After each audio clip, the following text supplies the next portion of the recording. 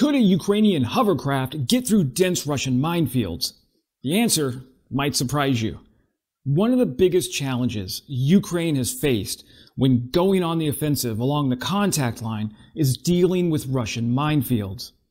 The Russians have gone mine crazy, laying even more mines than the already ridiculous Soviet military mine laying doctrine provides. So, could hovercraft be the answer? Hey friends, Wes O'Donnell here, veteran of both the US Army and the US Air Force, and I speak bad Russian because mudro izuchat protivnika. I started to work on a video today about Ukrainian engineers using spider boots to help navigate Russian minefields in Ukraine. And then I started thinking about why the unique design of spider boots saves lives and how that might apply to vehicles. Spider boots may sound like a magical quest item from Dungeons and Dragons, but this unique footwear made for combat engineers may be the key to saving Ukrainian lives. Spider boots' four pod-tipped spider legs increase the horizontal standoff range of a detonating mine. The resulting air gap significantly reduces the energy directly transmitted from the blast in the ground to the soldier by allowing more of the blast energy to vent sideways.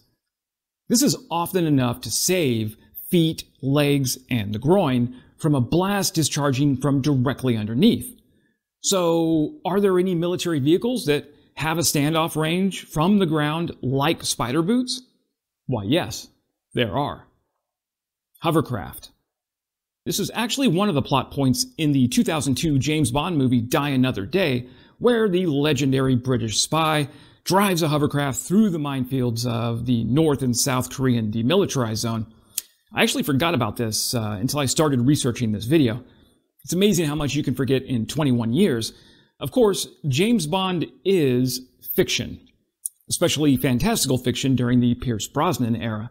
So, how would it work in real life?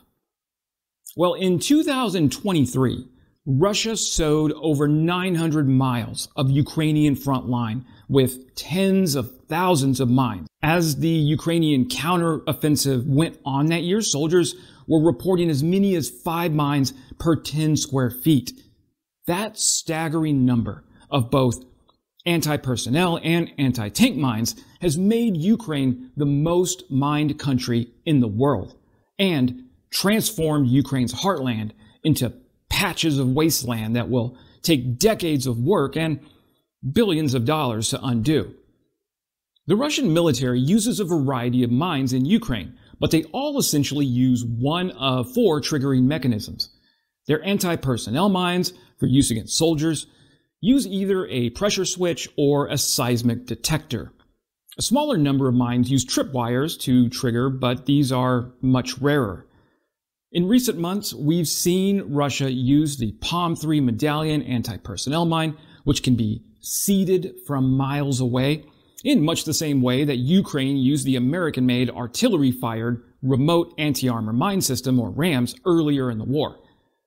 Once the POM 3 lands, a seismic rod sensor is forced into the ground, and on sensing a suitable seismic signature, the base unit ejects a fragmentation charge into the air that contains metal fragmentation rings that detonate, sending shrapnel out to a lethal radius of about 12 yards. Another Russian anti-personnel mine, the PFM-1 or butterfly mine, uses a hydraulic pressure fuse that's triggered when the mine is stepped on or inadvertently kicked. On the anti-tank side, Russia uses several varieties that use either pressure plates or a magnetic target sensor, or both in some cases, in case a Western tank track doesn't directly roll over the mine. The device will still sense the tank's magnetic disturbance. Anti-vehicle mines can also be triggered by a tilt rod, which is a rod about three feet high that if tilted back, say, by driving over it, will explode the mine. Although Russia doesn't appear to be using these in Ukraine, at least not as of the making of this video. So how much pressure and how much of a magnetic disturbance will set off a Russian mine? Well, this varies widely between them, but one thing is certain, these anti-tank mines were designed to defeat a very narrow range of Western military vehicles. So what happens when you introduce a vehicle outside of that narrow range? At its simplest, hovercraft are vehicles that ride on a cushion of air. Specifically, hovercraft use blowers to produce a large volume of air below the hull, or air cushion, that is slightly above atmospheric pressure. The pressure difference between the higher pressure air below the hull and the lower pressure ambient air above it produces lift, which causes the hull to float above the running surface. All modern hovercraft have a flexible skirt that keeps the air from escaping from beneath the craft, making them more efficient. And because they ride on air, hovercraft can travel over both land and water. They're propelled in some cases by giant fans in the rear for thrust, but sometimes smaller hovercraft use ducting to split the air between downward force to hover and rear force for thrust. So, can hovercraft defeat landmines? Well, here's where we combine how Russian mines are triggered with how hovercraft work. Since the vast majority of Russian mines are pressure switches, the deciding factor will be how much air pressure small hovercraft blow toward the ground. And is that pressure enough to trigger a Russian mine's pressure sensor? Mythbusters tested this out with a small one person, 600 pound hovercraft through a minefield. What they discovered is that mines rely on point pressure, and even though their hovercraft weighed 600 pounds, its weight was distributed evenly throughout the cushion of air. But we don't have to rely on Mythbusters. In a large study by the Royal Navy, they claimed that their hovercraft did not generate enough pressure to trigger pressure activated anti tank mines. However, they also noted that a magnetic trigger would still be set off by any sufficiently large vehicle with a significant amount of steel in its structure and with a typical engine construction. And what about seismic triggers? Well, the hovercraft is still exerting its full weight on the ground, just spread out over a larger area than a wheeled or a tracked vehicle. But as anyone who has stood next to a hovercraft can attest, it's quite loud. And some of those vibrations are transmitted directly into the ground. It's entirely likely that the US military has already performed research in this area, and the answer is probably sitting in a low level classified report somewhere.